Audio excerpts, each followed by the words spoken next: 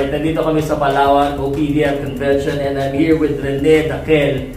Ah, ako si Renny, mayroon siyang letter I. Tapos ang Renny? Ah, Renny. Okay. Alias ko, Commander. Commander. Ako.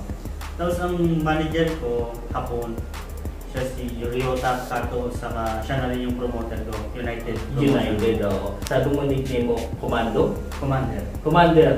Di ba si Mrs. dapat yun? Commander. Kaso sa... Bakit? Bakit? Bakit naging Commander? Yun yung naisipan yung trainer ko dati na foreigner, si Warren. Ang record ko, 21 wins, 6 KO, 6, 6 loss, 1 draw. Ah, taga saan ka ba? Taga saan ka? Abra po ako. Abra. Uh, parating Ilocos Norte. North yun, di ba? Ako. Anong masasabi mo sa Palawan? Mm, maganda pa rin po at maraming ano, nag-attend sa convention. Ah, naka-receive ka ng award nung isang araw, di ba? Ako, ako. Ano yung nakuha mo? Isang karangalan nun na na-recognize ako na isang champion na OPBM. So, naka, napakalaking halaga nito para sa akin na ako'y nabigyan ng ganong karangalan.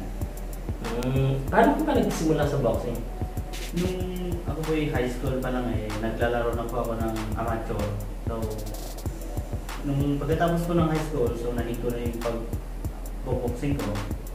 Nagpa-Manila ako, nakipagsapalaran at tinanay ko hanggang ano, hanggang sa narating ko ito, nag-boxing po ako kahit kahit gaano kahirap niya. Ah. Uh, bago ako nag-professional, nagpagka-Manila ko, nakalaban muna ako ng Muay Thai, pitong laban. Muay Thai! Oo, naglaro ako ng Muay Thai, so meron din ako experience ng Muay Thai. So, Buti hindi mo naisipan mag-MMA. Oo, naisipan mo. Nung huli ko kasing laban sa Muay Thai, nasipa ako sa hita eh. Limang sipa siguro, ito. So ang sakit. So sabi ko, hindi na ako mag-Muay Thai, magbo-boxing na lang ako. Sino yung Napunta yung mga promoter?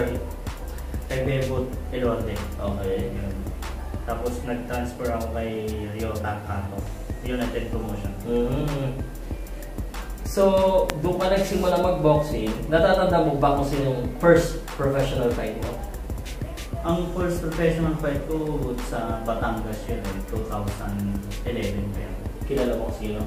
Mm, ang apelyedo niya.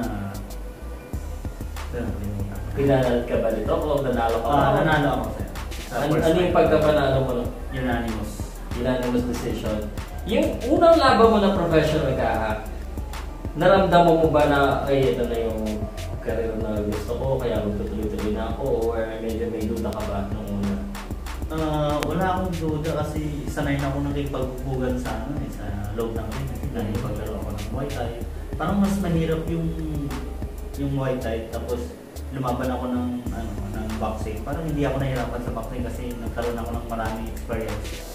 So nung 4 round lang yung laban, mas lamang na ako sa experience. Kasi nag, nag-amateur na ako tapos nag-Muay Thai pa tapos saka ako nag-pro. So lamang na lamang na ako sa experience. Ano bang pinaka main goal mo at saka yung pinaka gusto mong belt na makuha as a boxer?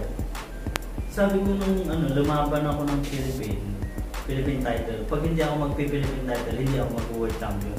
So Mhm. yung goal ko, makakuha ko ng world title. Title WBO, IBF, WBC. Oo. Napakalaking halaga po yun para kung makuha ko man po yun, eh, nakapakalaking karangalan po sa ating bansa yun. Alam mo, natuwa rin ako kahapon nung nag-sign ng MOA ng pag world title. Oo, mayroon tayong allowance, Allowance, allowance, yung mga ano. nag-retire. Oo, yung mga medyo walang trabaho na boxer. Magandang bagay yun, malaking bagay, no? Ako, sir. Ikaw, ano masasabi doon?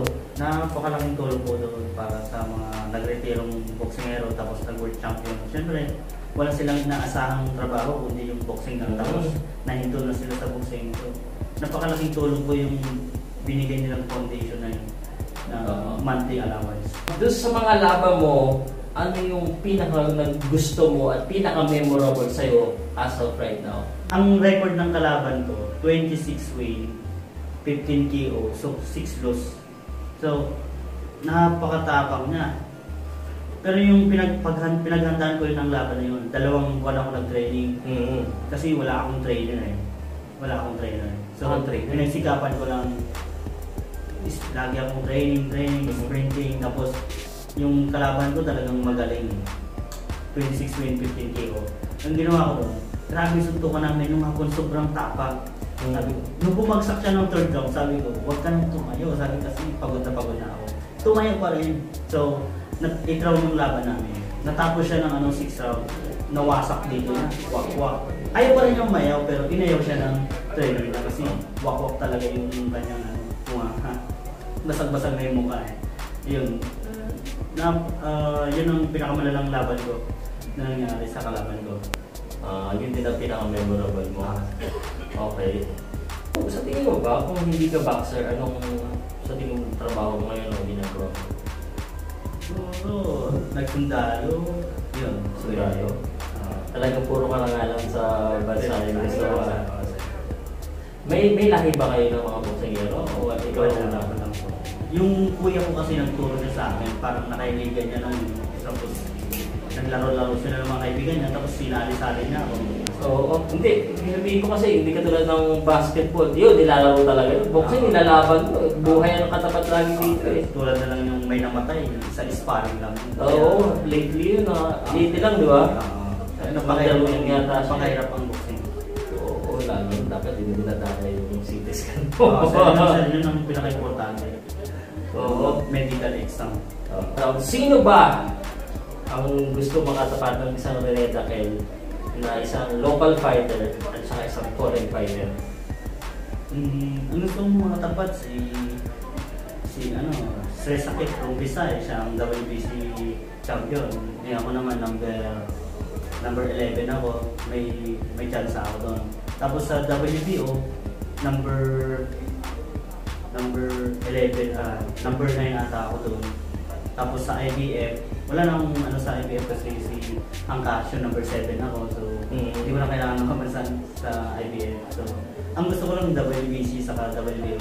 Mm. Pwedeng si Inoue, may posibilidad kami maglaban yan. Ang inuwi mo galing dito. Oo, ba darating na December ngayong susunod na buwan kung matuloy man yun. O si basta yun. Mag WBO, WBC. Ando na ako eh.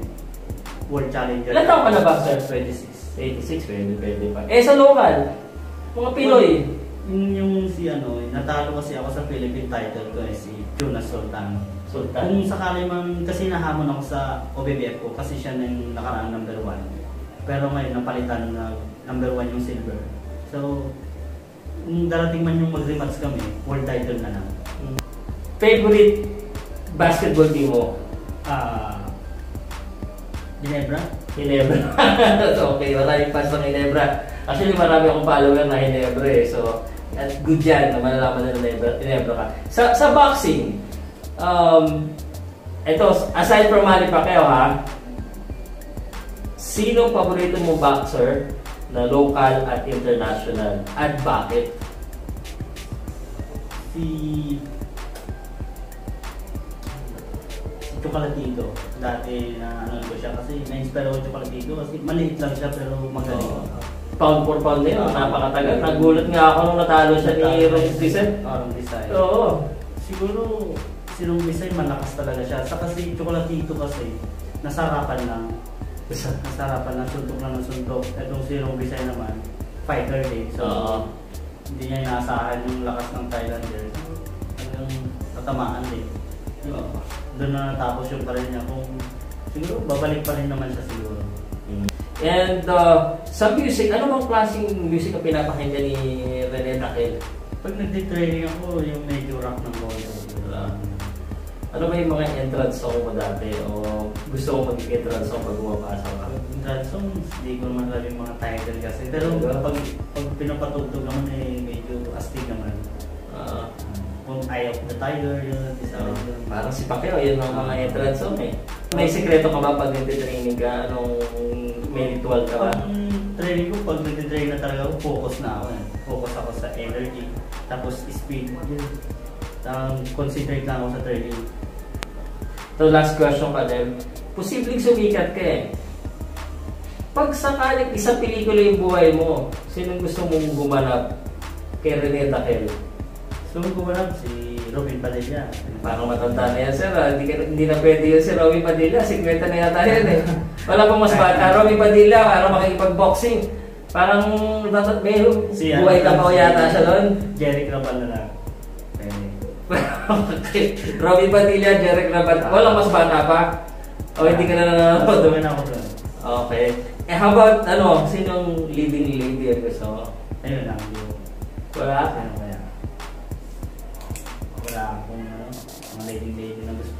Wala? Wala kang magandang sexy na leading lady na gusto mong gumanap sa pelikula mo? Wala. Ano masyado. May iyain. Eh, sama ka na ba?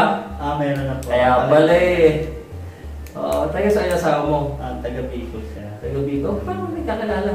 Hmm, ano pa, yung naglalaro pa ako ng Muay Thai. Medyo matagal na ako. Muay Thai. Doon kayo nagkakilala, naglalaro ka pa ng Muay Thai. Ah. Bakit? Ano siya? Fan pa siya? Ah, hindi siya pa, ano siya, nagtuturuan ko rin siya, tapos makahiligan niya rin. Okay. Mas ikaw yung nakahilig ka niya. Pwede rin. Kasi tinuturuan mo, kayo talaga, yung mga trainer ha. Ganun kasama na yun. Kasi, oh, sige, meron ka bang ah, gustong i-greet or pasalamatan before we end our conversation? Ah, nagpapasalamat po kay, ano, kay Chairman Bahamid uh, siya po yung president ng OPBF, na bagong president ngayon, na ang ganda po ang nangyari dito sa OPBF convention, napakaayos, napaka talagang asikaso lahat na napakaganda. Tapos mga taong nagdumalo, talagang nag-enjoy naman at sila ay na, naasikaso ng maayos. Saka maganda po yung aming tirahan ngayon.